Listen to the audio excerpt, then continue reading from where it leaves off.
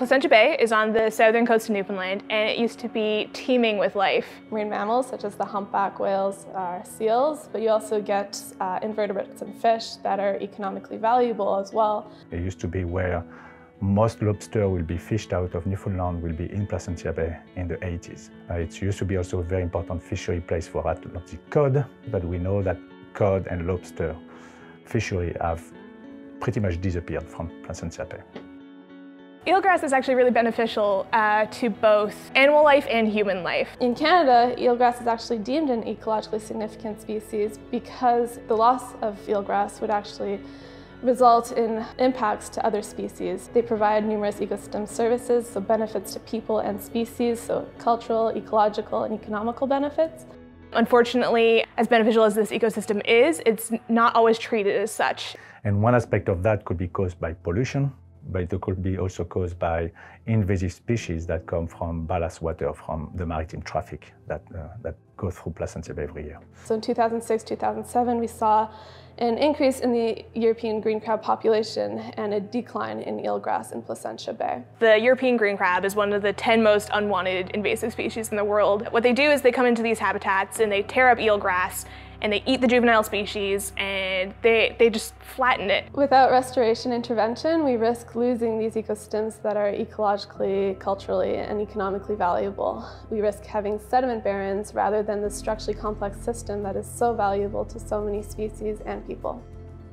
So the project started, the first step was really to, to build a team. We built a team here at the Marine Institute, but we also um, started to reach out to lots of potential collaborators interested in, in that project. Once the team was built, you know, we had to create, you know, the different objective and the different milestones that we'll, we'll get through the project for every year. Uh, restoration projects kind of come twofold. Um, there's a lot of efforts that have to be put into restoring the habitat itself, uh, and then monitoring it to see if it's actually been working. The main two restoration techniques are both active and passive. So active would be actively going into the ecosystem and uh, transplanting and reestablishing the habitat, whereas passive would be uh, the removal of the stressor. So for our, in our case, that'd be the removal of the European green crab.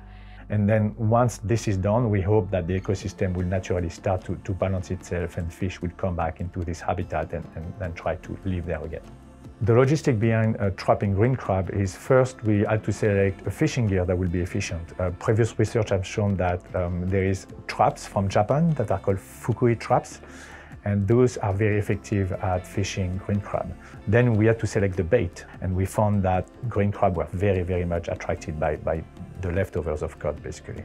We then did research in the scientific literature to identify the different strategies people have used to restore eelgrass. Planting eelgrass, that was one of the most uh, challenging part of the project. So we first identified very healthy bed, and then this what we call the donor bed, and then we collected seeds from those beds and that we dispersed in place where we wanted to restore. So it'd be either transplanting uh, just the shoots, uh, just seeds, or the sods themselves. We call it underwater gardening. So we go out and we, we with shovels and we dig up these massive sods and we store them in Tupperware containers, lug them all to our uh, transplant site, the area we're trying to restore, and then we plant them. So you plant the grass in, in the summer and not in the fall, and then you have the winter and you cannot go in the water anymore. you don't know what is happening in the winter. And then you go then in the spring, a bit later in the spring. It's the first time you've been there since you planted and you're very nervous because you're like, wow, did it survive? You know, is it still underwater or did, I don't know, it washed away with a current or did it washed away with, I know, the ice? Did the ice took everything away? And it really makes you hope that you can help restore all the ecological, economic, and cultural benefits, and all your effort is actually going to work in helping bring these benefits back. The first year we planted, our technique wasn't good enough, and we came back and we saw everything washed ashore. that was ah, that was very heartbreaking. You know, we put lots of effort and everything washed washed ashore, and I felt sad it, the shoots might have washed away because it was a very wavy area. So next year, uh, when we go back to restore the area, we would use sods because they're more stable and we can bury them further. But then, we, of course, we adapted the technique. And then after the years, I remember one first year I went swimming, it was in May. It was the first time I went to that site after we put in lots of effort in the previous year to restore, and, and I saw everything alive. You know, at the exact location where we planted, everything was still alive. It was not expanded yet, but the fact that it has survived already through the winter was very exciting. We are only starting to see a result uh, of, of this project because, of course, lots of restoration takes many years to do, but also many years after that to really see the impact of it. We are hoping to continue the monitoring as part of graduate student work and research in the next couple of years. Starting as just a research assistant in my undergrad, it gave me a lot of uh, opportunities to see the ecosystem rebound uh, and see kind of what I was working toward in my career.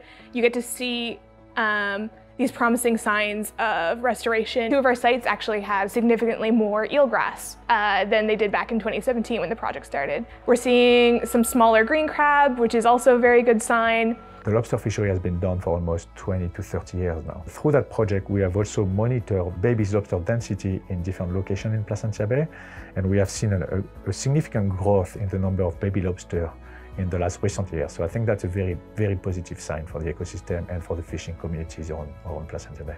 And although a lot of it hasn't officially been quantified yet and that work is still in progress, these are things that are indicating that the work that we've done is actually helping, which is very, very rewarding. I want to do it more and I want to do it at different places. Yeah, I hope people will be able to see the result of that and, and feel good about it as well, not only our team, but everybody.